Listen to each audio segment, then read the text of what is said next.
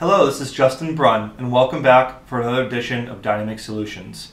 So today we want to talk about your dealership website homepage slideshow. You know, oftentimes sales managers and service managers are asking for you to add a slide for this, add a slide for that. It seems like adding a slide is always, uh, you know, a solution um, to helping to sell and service more vehicles. But really, what we want to discuss with you um, is the importance of having a good blend of sales and service slideshow content, right? So you don't want to be too heavily just focused on sales or too heavily just focused on service. We want a good blend, kind of 50 50, both sales and service. And with that content, we want to make sure that you have clear and concise calls to action. You're deep linking customers to relevant content on that dealership website. So if I'm looking at a slide promoting a buy three tires, get the fourth for a dollar sales event, and I'm having a CTA, a call to action that says get this special, I better be linking that customer straight over to the service coupons page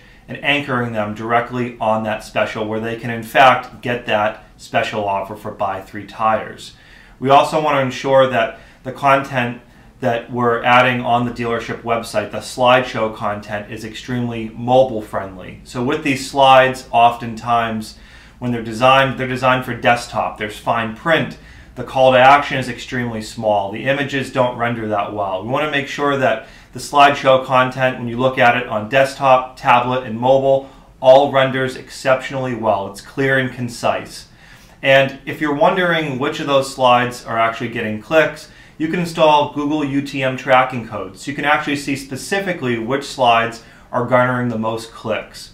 If you have any questions surrounding your homepage slideshow or anything digital marketing related, my name is Justin Brunn, Dynamic Beacon, phone number 339 707 5095, or you can reach us at info at dynamicbeacon.com.